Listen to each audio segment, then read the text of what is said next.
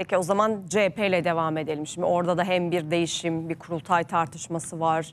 Ee, CHP İlke ve Demokrasi Hareketi adı altında kurulan ve partinin önemli isimlerinin de içinde yer aldığı bir oluşum bir açıklamada bulundu. CHP'de devrim olmadan Türkiye'de devrim gerçekleşmez açıklaması yaptılar. Şimdi o yazılı açıklamada başka öne çıkan ifadeler neler?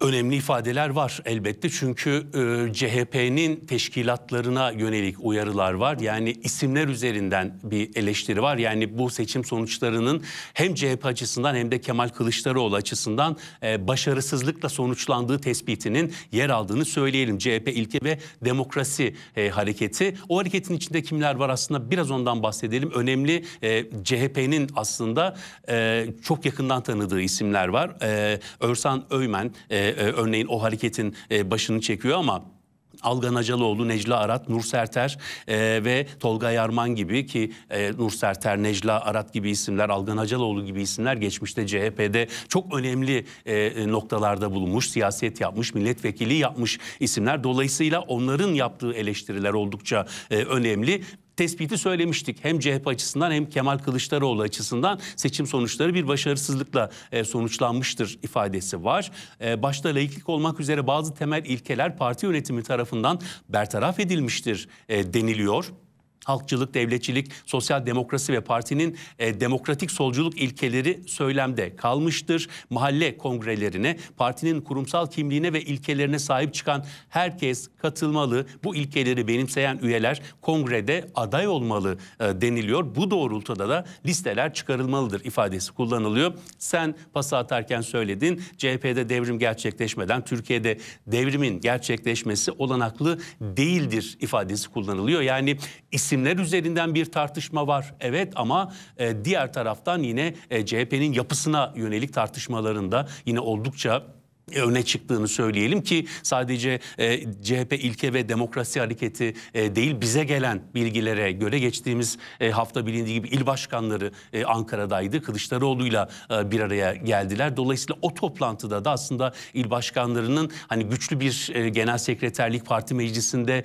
üye sayısının e, çoğaltılması ve en kritik başlıklardan biri aslında yerel ve genel seçimlerde listeler hazırlanırken ön seçim yapılması şartının yine partide uygulanması yapılması gibi e, talepler var. Dolayısıyla CHP'de kurultay yapılacak gibi görünüyor ama o kurultaya giderken hem değişim tartışmaları hem de işte bu tür açıklamalar oldukça çok konuşulacak gibi görünüyor Sultan. Şimdi Erdoğan seçim sonrasında CHP içinde konuşulan tartışılan bir konu daha var. O da altılı masadaki İyi Parti dışında işte DEVA, Gelecek, Saadet, Demokrat Parti'ye verilen e, CHP listelerinden e, giren milletvekilleri. Şimdi Deva Partisi Genel Başkanı Ali Babacan'dan da bu konuyla ilgili çok konuşulacak bir açıklama gelmiş. E, seçimde oy katkısı sunmadan 15 vekil aldılar eleştirilerine yanıt veriyor. Diyor ki anamızın ak sütü gibi helalinden kazandık demiş Ali Babacan. Başka hangi açıklamalar öne çıkıyor?